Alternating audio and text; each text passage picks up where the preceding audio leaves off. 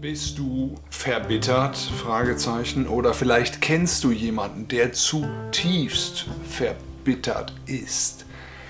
Das heißt, also jemand, der, wo du das Gefühl hast, da ist kein Durchkommen mehr. Ähm, der hat sich oder die hat sich total eingekapselt und zurückgezogen. Und du kommst emotional an die Person einfach nicht mehr ran. Und ähm, der Michael Linden, der hat 2010 war es, glaube ich, ähm, ja, ich glaube 2010, eine, äh, einen Begriff geprägt, ähm, den nannte er posttraumatische Verbitterung oder Verbitterungsstörung. Und ähm, der äh, bezieht das darauf, ähm, dass ein Mensch eine sehr, sehr ja, als ungerechte äh, äh, ähm, Kränkung erfahrene Situation, Begebenheit erlebt hat und dass diese dann im Grunde zu dieser Verbitterung führt. Also diese, diese schwere Kränkung oder mehrere Einschläge, ja, also können auch kleinere, mittlere äh, Kränkungen sein, die dann am Schluss das große Ganze ergeben. Und aus dieser Verbitterung entsteht natürlich Aggression. Und ähm, wenn die dann auch nicht ankommt, das ist häufig nochmal so ein Versuch, nochmal rauszukommen, dann geht es häufig in die Gegenbewegung, in den Rückzug ähm, bis hin zu Depression und äh, dann wirklich ähm, Vermeidung und starker Trotz. Also wenn jemand dann nochmal versucht, auf denjenigen zuzugehen, dann ist da nichts mehr zu machen. Also es ist eine absolute Unversöhnlichkeit, ähm, was möglicherweise auch ähm, so eine Art Rache sein kann. Äh, das hängt dann ähm, mit dieser äh, nicht ausgedrückten oder nicht angekommenen Aggression natürlich auch zusammen. Und das ist so eine paradoxe Situation. Man ist auf der einen Seite Opfer ähm, und auf der anderen Seite ist man dann vielleicht auch Täter.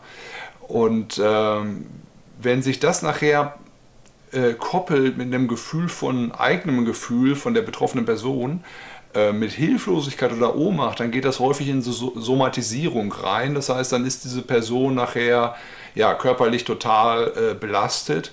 Wenn das aber nicht aufgelöst wird, dann kann es sein, dass diese betroffene Person dann wiederum das gesamte Umfeld mit dieser ähm, Psychosomatisierungsthematik dann äh, terrorisiert, äh, genauso wie sie das vorher gemacht hat. Nur jetzt eben noch darüber zusätzlich. Äh, das ist natürlich auch keine Hilfe, äh, macht allen anderen das Leben zur Hölle, aber der betroffenen Person natürlich wahrscheinlich sogar am allermeisten.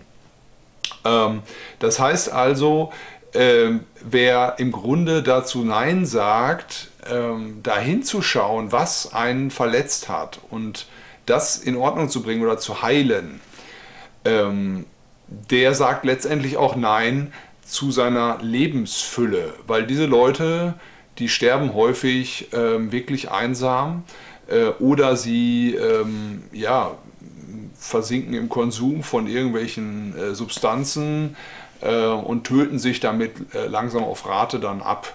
Und äh, das ist schon echt elend. Also das ist wirklich elend, wenn man sowas mit ansieht.